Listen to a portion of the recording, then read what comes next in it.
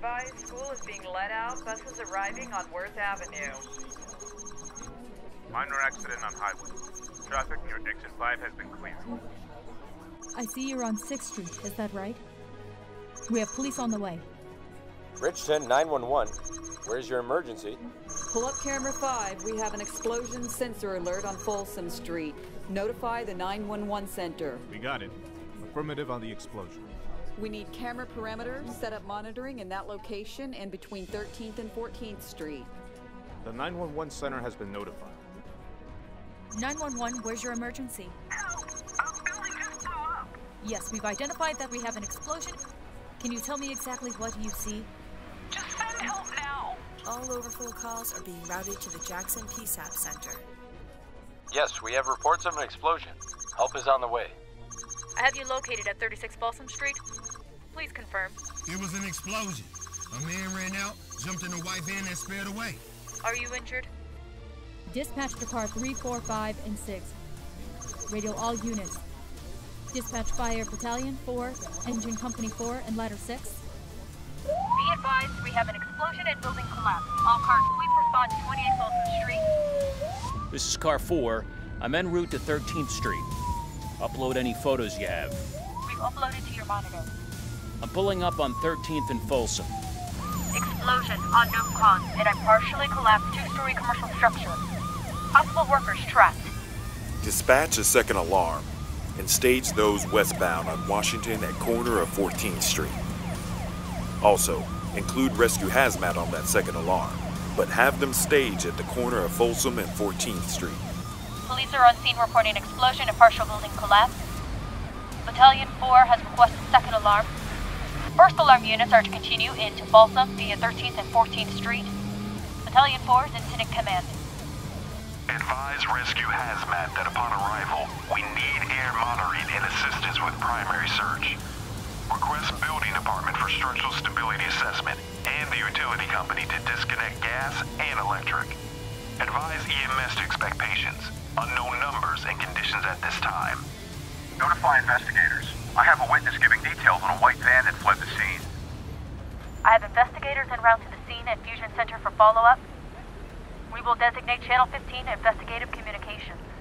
We need eyes in the sky. Get the drone up. Bridgeton police drone in air. Drone channel is 5. I've got visual on screen. Rear of structure is potentially unstable.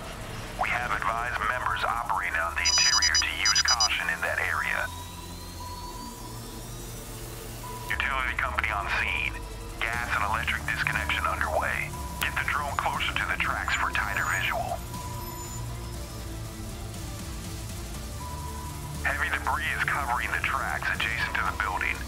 Alert Metro Railroad Control with an urgent message to stop all rail traffic in both directions. And notify Marine 2 to assess the river. We have camera sightings of the white van. Plate readers are showing it south in Montague, then east of Van Buren. White van is currently traveling south on Amsterdam Avenue. Car 4, we track suspicious van. It's registered to Florence's flower shop. Dispatch, be advised. I interviewed employee, check okay. We have located a victim under debris. We're bringing him out. EMS, male victim with leg